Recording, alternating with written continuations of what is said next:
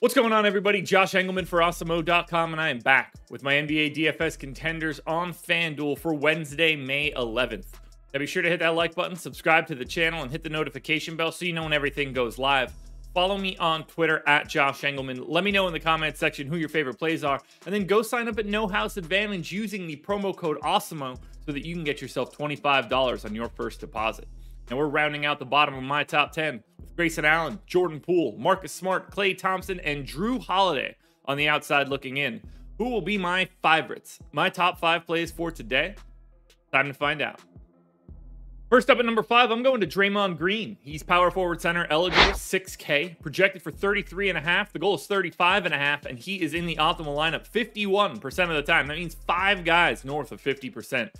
33 minutes for Draymond here. He's a fantasy point per minute, and you know you're going to get a little bit of everything. 14% usage, eight points, eight boards, seven assists, and two and a half stocks. This dude just has really unique stat lines. The massive pace up spot for Golden State. That's what happens when you get to take on Memphis. They are the favorites. Golden State favorites in Memphis trying to close it out, and I expect them to be able to do so. So go ahead and grab yourself some Draymond Green. I know no one is going to want to do this, but number four, Dillon Brooks, shooting guard, small forward, eligible 5,600, projected for 34. The goal is 33. He's in the optimal lineup 59% of the time. I mean, he played bad, but he played a ton of minutes, and you can't really get away from that. 36 minutes here again for Brooks, and certainly upside to play more. Around 0.9 fantasy points per minute. He's going to take a ton of shots, and he's going to be inefficient when he does so. You just hope he's slightly more efficient than normal. 28% usage, 20 and a half points, four and a half boards, three assists, and a stock and a half here for Brooks. Look, you get a great position, you get a great price, you get great minutes, and you don't have Ja Morant around. No matter how it has looked in the past, I'm still going to Dillon Brooks today.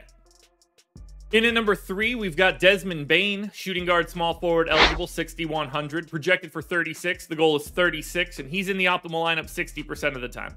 Full stop right away.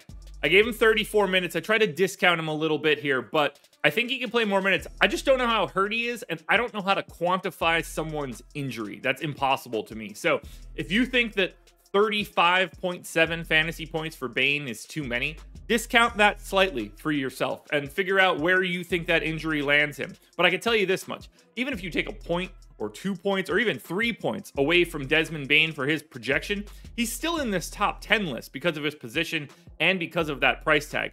You got to take a lot away from him for him to fall below Jordan Poole or Grayson Allen at the bottom of my top 10. So 34 minutes for Bane, around a fantasy point per minute, 23% usage, 19, 6, 3.5, and close to two stocks. But again, we don't know how healthy Bane is. This is a closeout game. This could be the end of it all. But I am still going to Desmond Bane today. And number two, we get our obvious pay up option. That is Giannis. Power forward, small forward eligibility, 11,500. No one has his ceiling. It's not even really close. Projected for 66 and a half. The goal is 65 and a half. He's in the optimal lineup 66% of the time. 40 minutes here for Giannis, which is what we saw in the previous matchup. 1.66 fantasy points per minute. 33 13 and a half, nine assists, and two and a half stocks.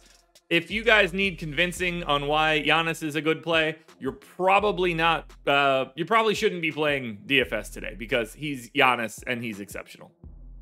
Now, before we get to that number one contender, one last reminder hit the like button, subscribe to the channel, hit the notification bell so you know when everything goes live.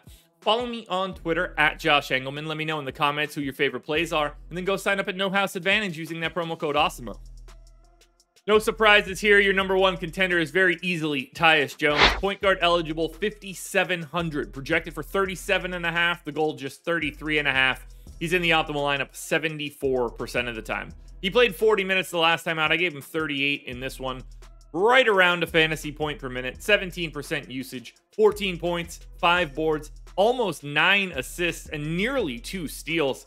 This one's just really easy, and he pairs really well with Giannis. We're going to do the same thing that we did two nights ago, only Tyus Jones is just going to be slightly more expensive. But even with the increased price tag, nothing changes. Tyus Jones is your number one contender for today. Alrighty, folks, that will do it. Those are my NBA DFS contenders on FanDuel for Wednesday, May 11th. DraftKings and Yahoo versions of this video are around here somewhere, so check it out. Good luck tonight, everybody. Win some money. We are back again tomorrow morning for another edition of the Contenders.